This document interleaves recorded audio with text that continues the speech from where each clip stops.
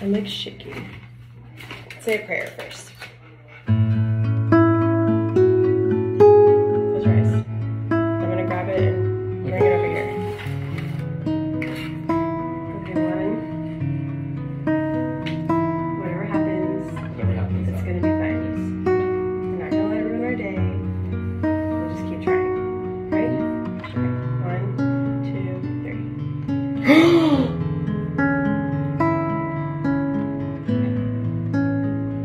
No way. Oh my god. No way.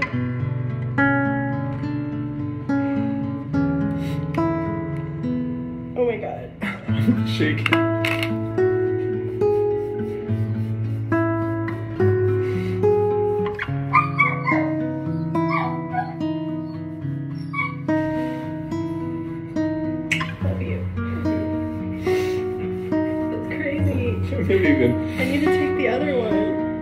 God. Oh my god, that can't be real.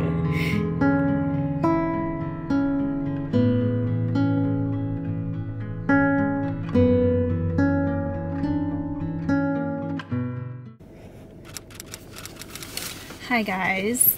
So today is April 25th.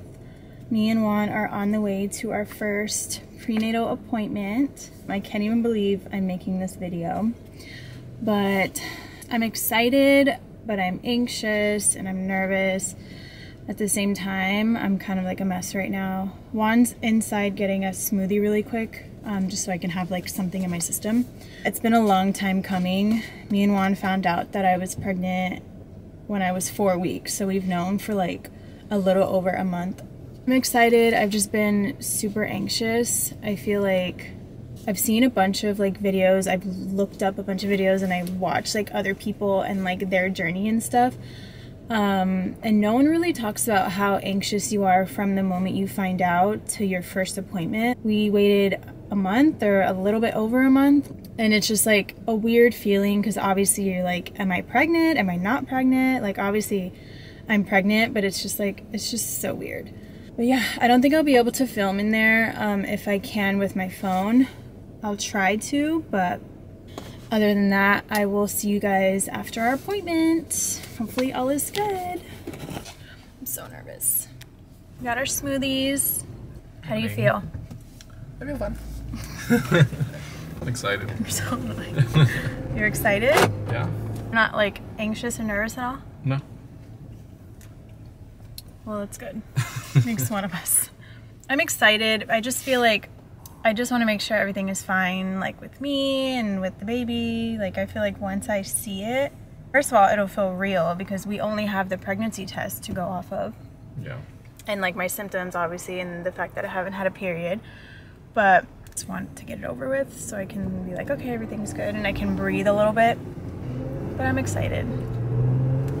So it's a few hours later. Um, we totally forgot to record because we were on the phone with family and a couple friends. But there's a baby in here. How do you feel? Feels excited. Feels real now. We're on the way to my mom's. Um, and we ate and everything. There's a baby. I knew I was pregnant, but it's like good confirmation. Oh, so here's the ultrasound. There's the baby. There's the head. So exciting. Definitely feel more relieved and at ease. Everything is good. How do you feel? We're gonna be parents. I just can't believe it's real. it's like real now. I know It's exciting. After seeing like The, heartbeat. the heartbeat we saw like we didn't get to hear it today but we saw like the little like you can see it beating and it's like a little flutter oh my god it was so cute um the heartbeat was like 160 or something so that's good there's a baby in there it's real i'm eight weeks today so every tuesday is the start of a new week and then i go back around in a couple weeks to do like blood work and then yeah and then the next appointment, I think for my 12 weeks, is when we can actually hear the heartbeat. So I'm excited for that. We just ate because we ate Mexican food because I was starving. And now we are about to be at my mom's. So we will see you guys later.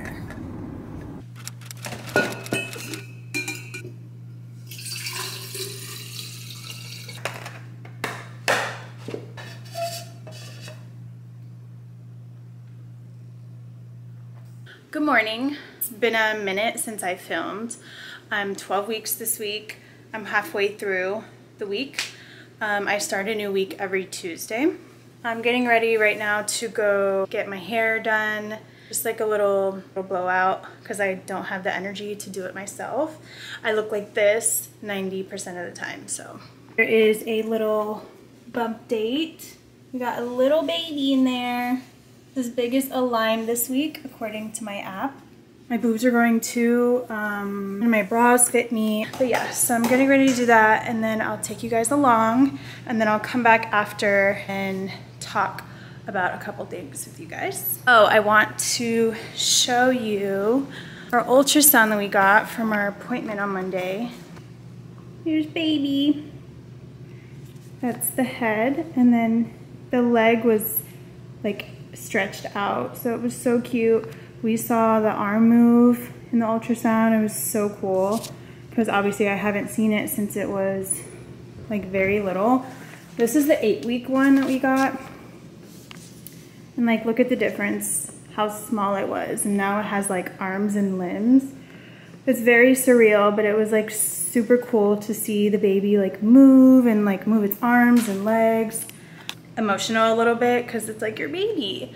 Juan said he teared up a little bit because as soon as she put the thing on to do the ultrasound, um, the arm like went like that and it was so cute and so like weird.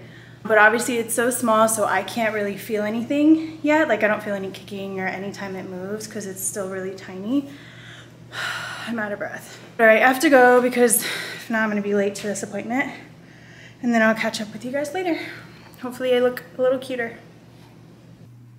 Okay, it's a few hours later. It's four, almost five o'clock.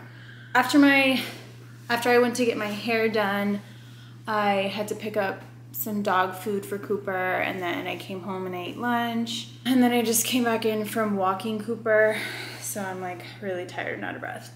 And I'm probably gonna take a nap after this because I'm like worn out. But yeah, I just wanted to go over a little bit our um, 12 week appointment that I just did because I forgot to film. And they don't let you record inside the doctor's office. So like when we got an ultrasound, like all that stuff, like you can't record with your phone or anything. So I just forgot to bring it. Every Tuesday is the start of a new week. So this past Tuesday, I just turned 12 weeks. We had our appointment.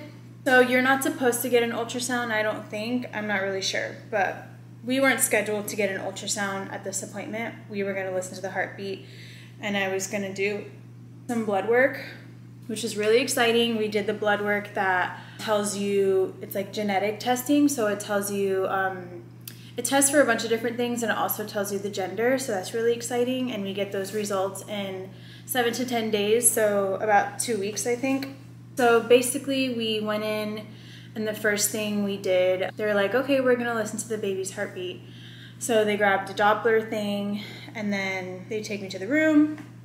And so she was like feeling around for the heartbeat. Obviously, I can hear too because it's like a Doppler thing. So she's like feeling around, feeling around, and then she can't really find it. And so I'm like, okay. I'm not freaking out. I'm just like literally laying there, like, okay. And so then I hear a heartbeat, but then she's like, okay, that's your heartbeat, saying that it was mine. Um, and she's like, the heart, the baby's heartbeat will be way faster. So I'm like, okay. So she's feeling around, feeling around again, and she still can't find anything. So at this point, I am freaking out a little bit, but I'm like just obviously laying there and trying to stay calm. I didn't even want to look at Juan at that point. He was sitting like right there in the chair because I knew he was freaking out. Like as soon as she said that she couldn't find it, she was like freaking out. But in the beginning, she's like, oh, like if we can't find it, don't freak out. Like sometimes we have to look for it because it's still really small. Um, and so it's harder to find. So I wasn't super freaked out, but in the back of my mind, I was like, mm, okay, this is weird. So then she's feeling around and she still can't find it. And so she calls somebody on her little radio and she and she's like, "Oh, like she says something." And so she's like, okay, I'll try again. And if we can't, then we'll do the ultrasound to see. And I'm like, okay. So then she we couldn't find it. So then they send me um, to the ultrasound room. They're like, okay, we're gonna put you in the ultrasound room, and then like whatever, we'll do that. So we go to the ultrasound room, and that nurse, it was a different nurse. Um, she was like being super cool. She's like, oh, this happens all the time, and I was like, is this normal? Because I was like, just wanting to make sure that everything was fine, and she's like, oh yeah. So she puts the ultrasound, and then I see the baby, and I was so relieved, and the baby was moving. We saw the arm move, like I told you earlier. The leg was moving, the leg was like stretched out. It was super cute. The heartbeat was perfect. It was like 165. We got to see the heartbeat. We didn't hear it because I don't think you can hear it over the ultrasound, but basically the reason why they couldn't find it on the Doppler as easy was because she said my uterus was kind of like pushed back. I don't know if this is like TMI, but it was still kind of back. And she was like, "Oh, like that'll change in the next couple weeks. Obviously, your uterus is gonna like come forward more." and the baby gets bigger too, so it's easier to find. So obviously I felt a lot better after that. But that like five minutes of her trying to find the harpy, I was like, oh my god. I was like freaking out. Thankfully everything was good, baby's healthy. I'm healthy, so yeah, I did like a full exam. All of that is good. After that, sorry, I'm gonna be really out of breath just because that's a symptom of pregnancy. I'm gonna sound like I ran a mile every time I say a few words. Yeah, basically everything has been good.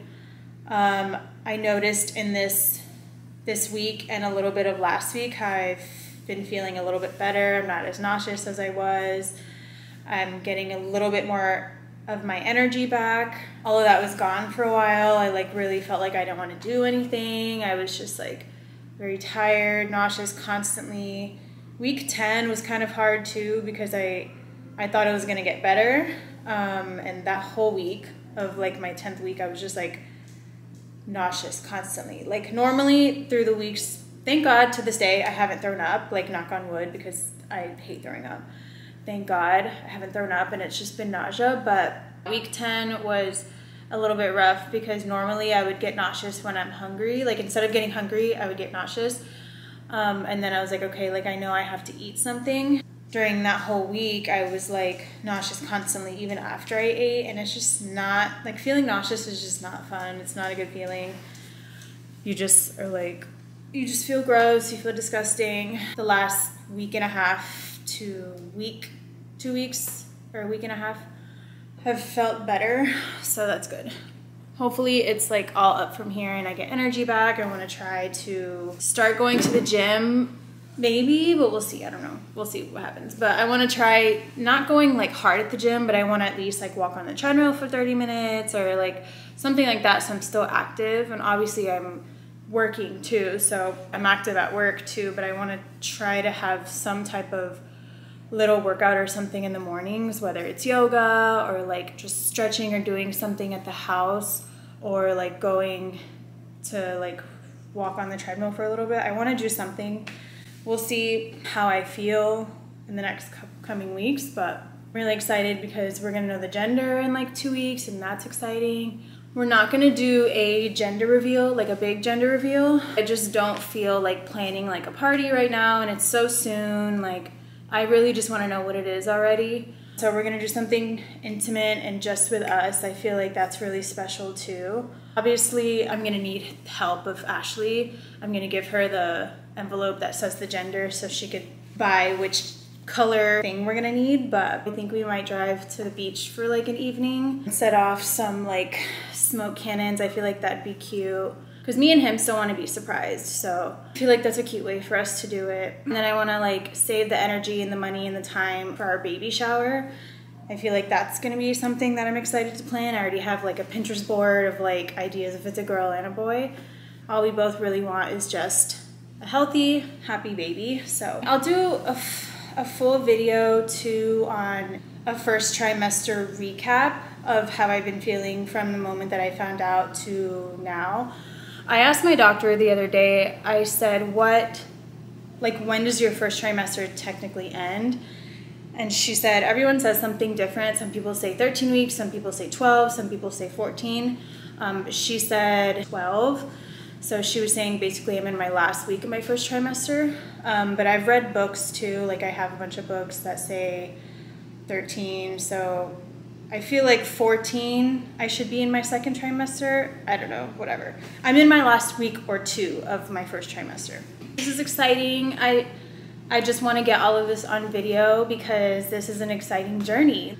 I recorded all of our, our wedding stuff, most of our wedding stuff, and it's nice to look back on that. I was just watching one of the vlogs that I made the other day and it's you forget a lot of the memories and so uh, watching that it like really brought me back and i want the same for our baby. Like, I want to remember how I was feeling at this time, and I'm just really excited to share this. And I also was looking up a lot of videos before I could even tell people when I was pregnant, because obviously you have to hold that secret with just you and your partner. You can't really tell people because it's technically not safe.